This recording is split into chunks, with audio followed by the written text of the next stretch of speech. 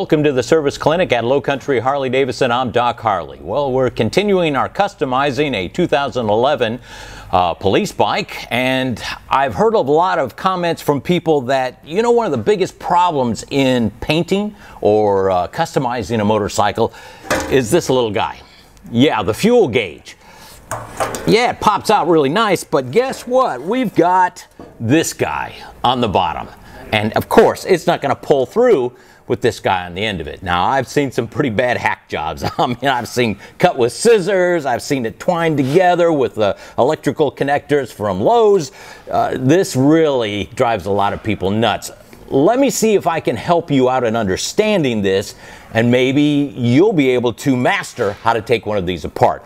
All right, now it is a four pin connector. We have pins on here. It's a four pin connector, but we only have three wires. So let's keep that in mind, okay? So what I do is I usually take a pick and right on the area where the pin goes through, I mark it. Y for yellow, O for orange, and then BK for black, all right? So I know which one it goes in when I've taken it off because I'm gonna be celebrating. I already got this off and I'll forget which one it goes in. Now you can match it with the other wire, you know, connection on the bike, sure, if that's the way you want, but I like to mark it so I don't have to think twice. I can just put them back in. All right, in disassembling this, Harley Davidson has made one with a back that has a flip on it. Let's see if I can, uh, I tried making some pictures for you. This is the back of the connector, all right? And there's this piece that flips up. And all you have to do is take a screwdriver on either end and flip it down. That's the first procedure in getting these out. You have to get this thing out of the way, otherwise they're not gonna back off. All right, so first thing is flip that down. All right, now a little close up, see if I can, this picture isn't the best, but you're going to see in, you're gonna see four, like I said, all right, and only three of these are going to be needed. Now, the area you need to get into is this little black holes, well, black square, I guess you could call it. All right, now, here's a little something I'll have my cameraman take a look at. All right, the easy tool is a paper clip. All right, what we do is you straighten it out, all right, then take a file, and I want the end to be with a bevel on either side, okay?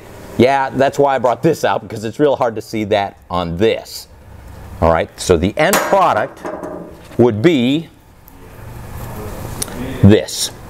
All right, and the reason you want that bevel is getting back to a photograph, you are going to insert that beveled area of the paper clip into that black hole. There is a clip that you feed the paper clip in, feel it, and kind of press it away from the pin, the electrical connector. So it's an insert, then bring it down, and, and at the same time, I know it sounds difficult, but at the same time, you're on the back of the wire, and the minute you get this clip out of the way, it'll pull out. Now, of course, it takes practice. It takes a feel. All right, so Make yourself a tool that will fit inside those little squares.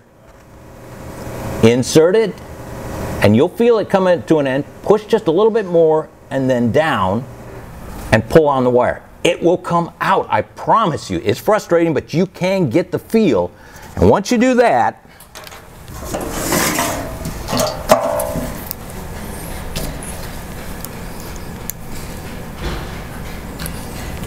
comes out, all right? Then, these just pop in. There's nothing holding them. You can pull this out of the way. Every painter loves to have this out of the way so they can paint around this edge so it doesn't start flaking out. So it really is important to get this out of the way. Hope this helps you in disassembling a fuel tank for a painter because this stops a lot of people from getting the best paint job because the painter has to go around it. Little tech tip from Doc Harley at Low Country Harley Davidson.